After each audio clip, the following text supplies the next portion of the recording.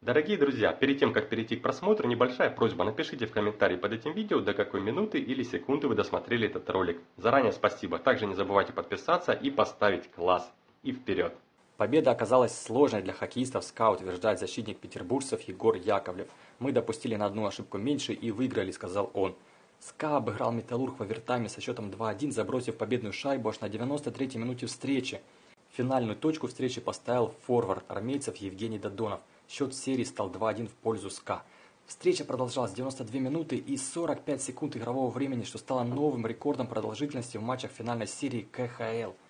Предыдущее достижение принадлежало Металлургу и ЦСКА, которые в сезоне 2015-16 года провели на льду 78 минут и 12 секунд. Также еще одним рекордом серии, а точнее его героем, стал голкипер Металлурга 34-летний Василий Кошечкин, который отразил 58 из 60 бросков, что и стало новым рекордом финалов КХЛ. Плохая игра Металлурга в первом периоде против СКА связана с хорошим выступлением соперников в стартовой 20-минутке. Такое мнение журналистам высказал главный тренер магнитогорцев Илья Воробьев. Моменты нужно реализовывать свои, создавали очень много, будем готовиться к следующей игре, прокомментировал игру наставник СКА Олег Знарок. Предлагаю еще взглянуть на список лучших бомбардиров и снайперов этого розыгрыша плей-офф КХЛ.